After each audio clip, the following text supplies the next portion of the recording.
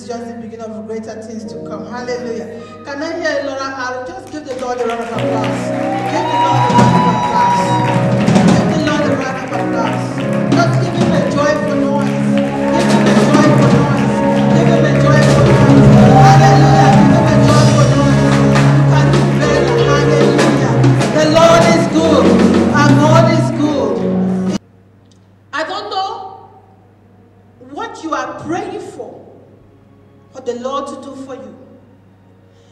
that is in the line of who God has really created you for. Because many of us will ask for things that are not in line with who we are. I've come to the place whereby I don't pray amiss anymore. Before I used to. I just pray every prayer that I want to pray. I pray accordingly what I want at that moment. Jesus said that we have to be specific about what we want. When you read the story of Bartimaeus, Jesus said to him, What do you want me to do for you? You pray, what do you want the Lord to do for you? Because there must be something that you want God to do for you. You can't just be praying in so many words. Jesus said, We say too many words like unbelievers. The Bible said in the book of Ecclesiastes, it said, God is above in heaven, and you are here on earth. Declare what you want God to do for you. Jesus asked Bartimaeus, What do you want me to do? And he says exactly what he wanted God to do for him. And that was for him to get back his sight. And Jesus said, Your faith has made you whole. So today, the Lord is asking many of us in our prayer time. We're asking for a particular thing in our life. And He's asking us, What do you want me to do for you? On whose identity are you working? How are you representing yourself? Identity is how you perceive yourself and how others perceive you. Because how you perceive yourself, that is who you are. And how others perceive you outside of you, and that's who you are to outside people. So your identity, you must know who you are. You say, who am I?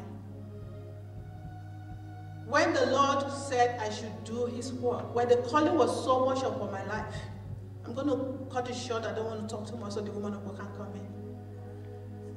I was doing my business, doing my things, making my money. But the Lord wanted me to serve him. The first thing I did was to ask him, What do you want me to do for you? Who am I? And as I continued to pray, he began to show me, he began to reveal to me who he has made me to be. If you ask God and you want to know who you are, sincere heart, he will show you. Just like Bartimaeus, Jesus asked him, what do, you want, what do you want me to do for you? And he says, that I may have my sight back. And the Lord gave him his sight. And one thing he did was to drop that jacket. Many of us, we encounter Christ, yet we still drag along that old self. That old self that is hard to let go. Sometimes we know of it, but we still want to cling to it. But the Lord wants us to get rid of it in order for Him to walk us afresh. Hallelujah. Amen. I just want to conclude with this. Your Bartimaeus outcry today could be anything. It could be your financial difficulties, your Bartimaeus outcry that you're going through in your life. It could be looking for that right person, the right spouse that you've been praying for. Your Bartimaeus outcry could also be the fruit of the womb that you're asking the Lord for.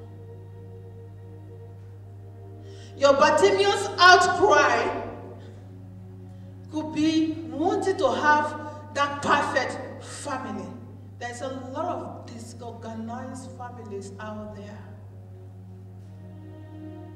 A lot of them disorganized and they are believers. Your Bartimaeus outcry could also be that you're looking for that part, that person that will give you that love that you want. You just want that somebody to just show you love, real love. Someone to just love you.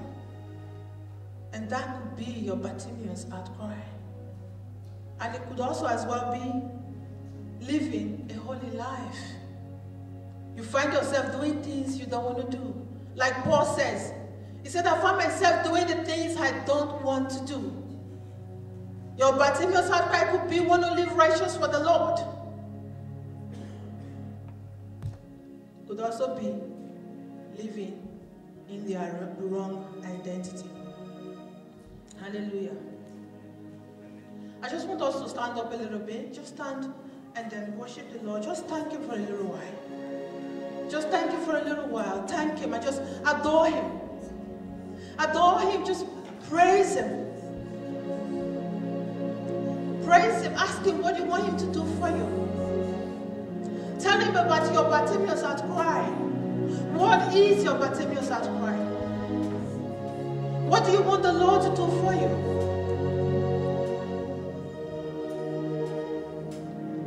Our God is good. Tell Him what you want Him to do for you. Adore Him. Just praise Him for a few minutes.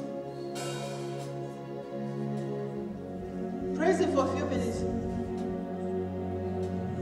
Another, another,